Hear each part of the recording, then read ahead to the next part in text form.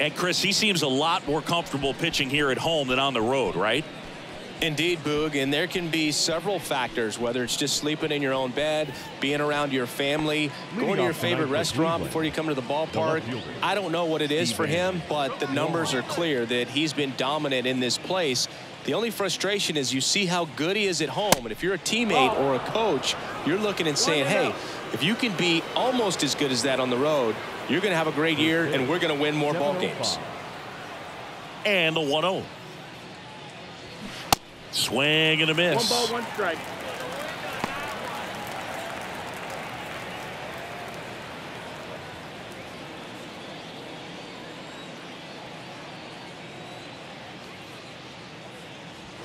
That catches the corner. One ball, two strikes.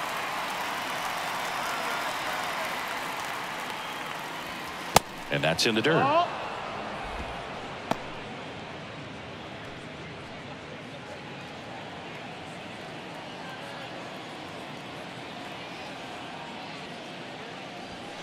And now the count filled up three and two.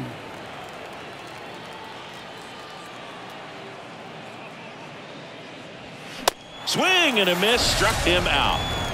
I love to see guys compete, and I know he's frustrated that he wasn't able to do anything with that pitch. You see it so well, but you have to respect the upper 90s velocity. Man, it is hard to catch up to. And now it's Amed Rosario.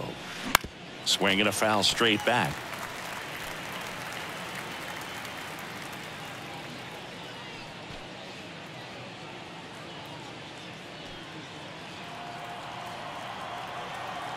One down, base is empty. No, that missed. That's the ball.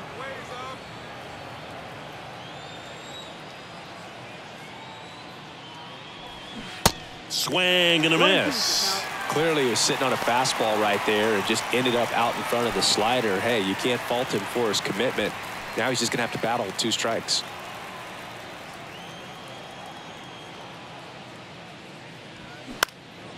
That's out to center field. Suwinski on the move. Grabs it on the run. And there are two outs. Take a look at the lineup. And a guy having a big year for him. Steven Kwan. Well, Boog, there aren't many guys who have a flair for the big moment like he does. I mean, batting over 400 with runners in scoring position. Are you kidding me? I know it's not guaranteed or an automatic, but I hope we get to see him in a close late game situation with runners in scoring position and just see is he truly a oh. machine or not? Jose Ramirez. The next to hit takes ball one. Another solid power season. Well, Jose Ramirez had a sensational 2018 season. He became just the eighth. Oh, this That pitch rides in too far. That got him. Oh, he's only an out away from getting through the inning, but he just lost control for a brief moment there. It's not the end of the world, but don't let one mistake turn into another. Get your focus back right here. Josh Naylor stands in now and oh. watches strike one.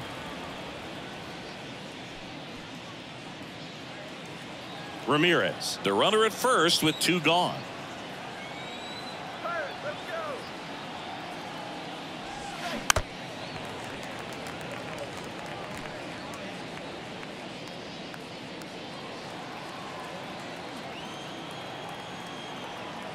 Keller picks over and he's back in safely.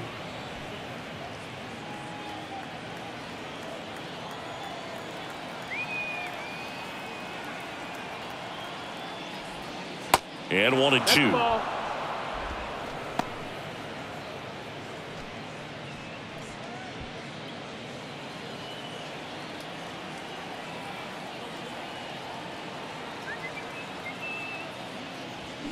The 1 1 is fouled off.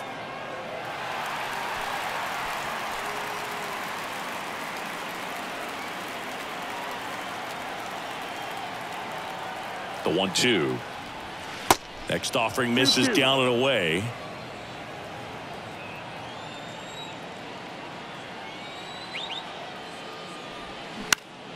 Battling here as he fouls it away.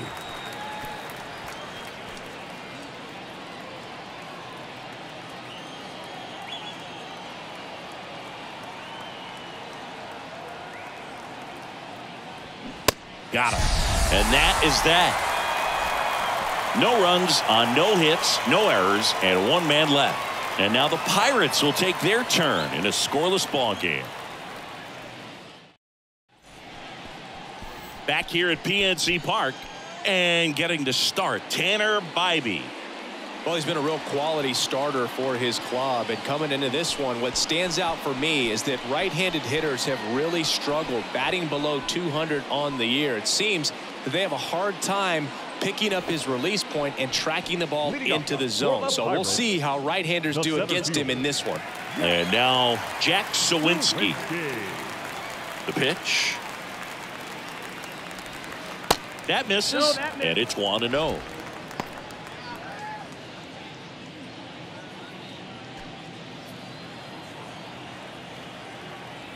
to 0. The to kick the pitch. That misses That's the the zone, and it's 2 and oh. 0.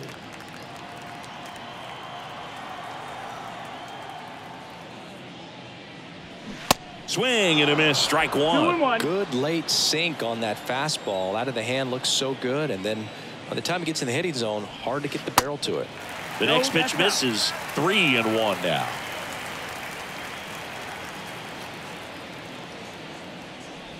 Three one, and he couldn't come up with it. His ability to draw walks has been something that's been part of his career since day one. Bryan Reynolds here.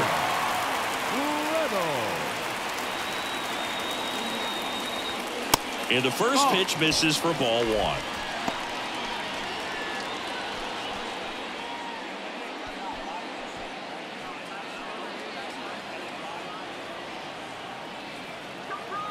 And the righty deals.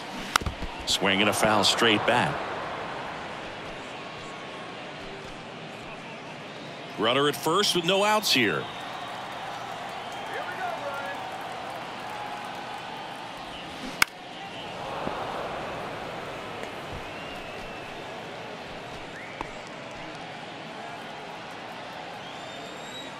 Check on the runner. Suwinski oh, back in standing. Let's keep it going. And a pitch. The other way. Pulls up, and that's in there for a knock. Throw back in quickly. First and second now with nobody out. Everything came together perfectly for him right there. Showed a willingness to drive that pitch the opposite way. Didn't get jumpy, didn't try to pull the ball. He let it get deep, took the barrel right to it, and then extended through the swing for the line drive base hit. And now it's Andrew McCutchen. And first offering is fouled off.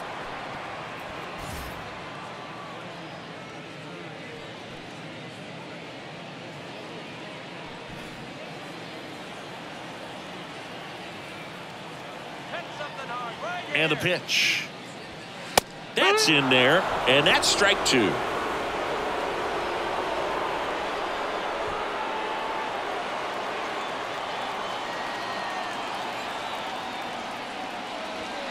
That's inside. That's inside. No outs, runners at first and second.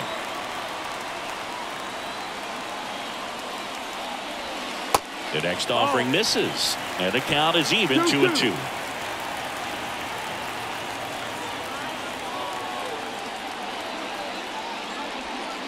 And another ball. Carlos Santana waits on deck for Pittsburgh.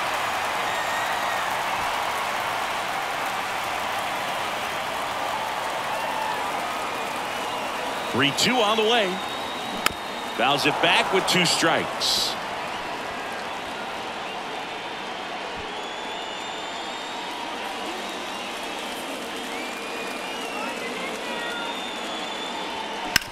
Hard grounder into the outfield for a knock. Runner around third on his way to the plate. In there. He's safe. And it's 1 nothing. Back-to-back singles. Not much to this one other than just a willingness to go the other way and put the ball in play. That's a team to bat right there. Nice job of staying back and letting the ball get deep. First and second, no outs. And now the first baseman, Carlos Santana.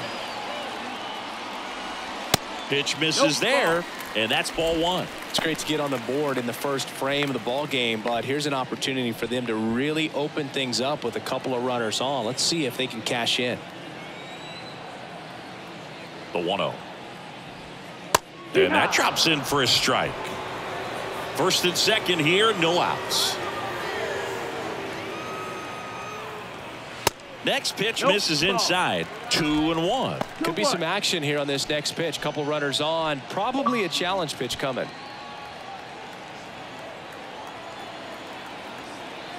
Rush that pitch. Let's go.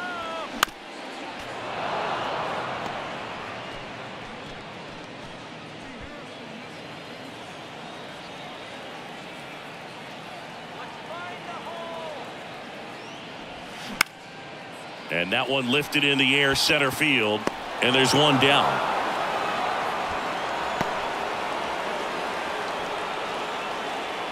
Batting fifth. We take a check of the Pirates lineup put together by manager Derek Shelton. And a key piece, a guy having a big season for them, Henry Davis. Yeah, definitely someone I always enjoy, you know, when I get a chance to watch him, whether he's hitting in a game or even taking swings during batting practice. Man, this guy's always so focused on what he's doing on that task at hand. He's got so much attention to detail that when he steps in the box, the his success rate is really high. Henry Davis at the plate now. That's ball one.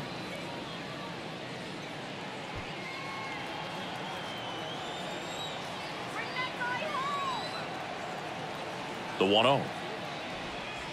Just That missed. Missed. Last two pitches have been down in the zone. Pitcher clearly trying to get that ground ball double play. But in this count, he's going to have to give in, elevate his pitches, and get back into this at bat. The 2 0 is in for a strike. Getting a little frustrated with the strike zone.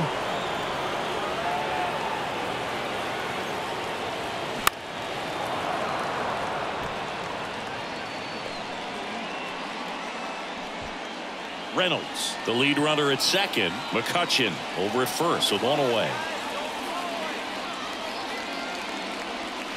Next pitch is outside.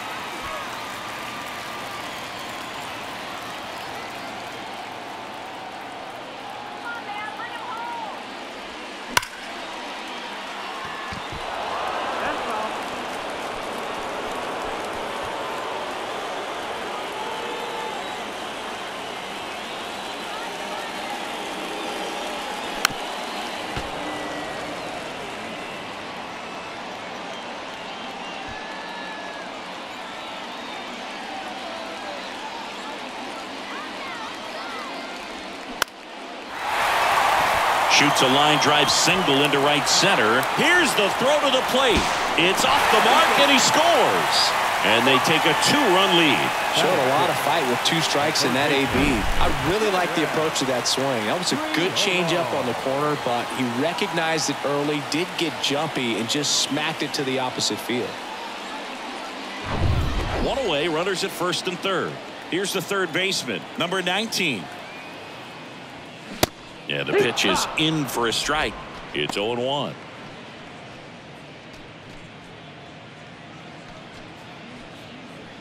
Tough start for him so far, already at 30 pitches here in the first. And that one Oh. just missed off the outside edge.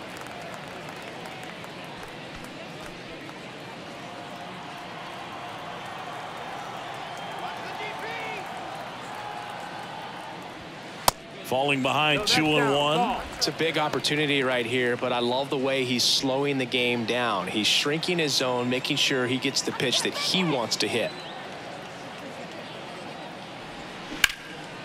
And that one is lifted in the air and makes the grab. Runner tagging from third. Play it home. He's safe. And they lead by three. Well, that's the third run of the inning, and these guys are doing a nice job of executing at the plate right now. Rodriguez. So next to the plate for Pittsburgh, Endy Rodriguez. Trying to pick up his first knock in the big leagues. Come on, Pirates. Splits the plate, and that is strike one. When you're struggling out there on the mound, hitters know that there'll be plenty of opportunities within the at bat to try to get something to hit hard. Here we go, And here it comes. And a good eye Ball. there. Good eye. That's right. Wait for it.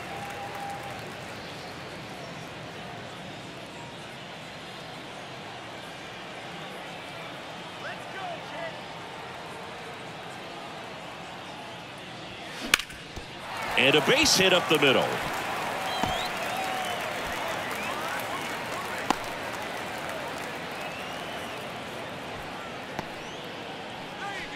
Endy Rodriguez with his first major league hit. And this is a moment I'm sure he'll never forget. Congrats. Yeah, great moment for him and his family. A guy works so hard and has to wait so long for this to happen. And when it does, it can kind of be overwhelming, Boog. You still have to stay locked in on the game, but it's great when you could take a minute to just appreciate what you've done and how hard you've worked to get here. Up next for the Pirates, Nick Gonzales. All right, here's our trades. Let's go. And that's in there at the knees for a strike.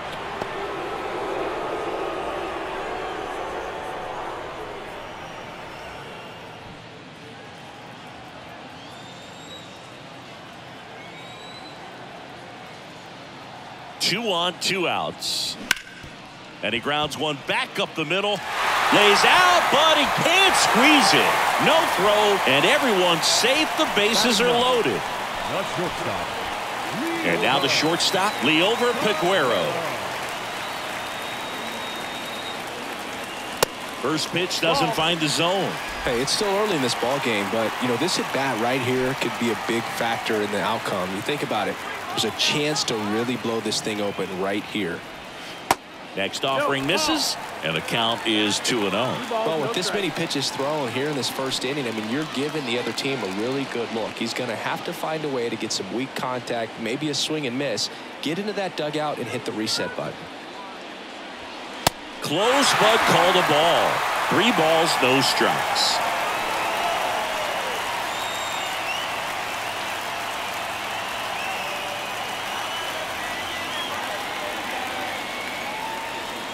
There's a strike. 3 1.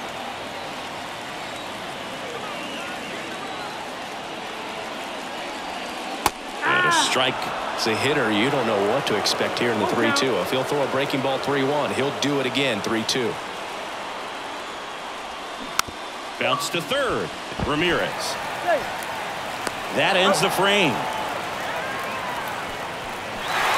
So they get three runs in the inning, but they also leave the bases loaded. We head to the second from PNC Park. It's the Pirates three and the Guardians nothing. Here in Pittsburgh, new inning getting started. Here's Andres Gimenez. Andre. We talk about guys with good speed, and definitely he has it. But pushing the offense aside for just a second, Chris, it's the defensive side that I think the speed factors in the most.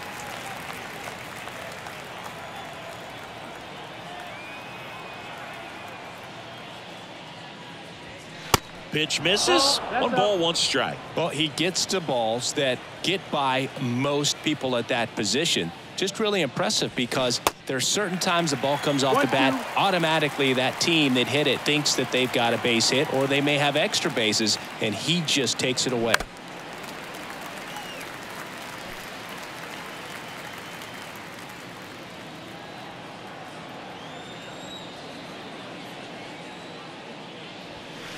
Next one just misses. Now two and two. And what makes him even quicker is the fact that he's so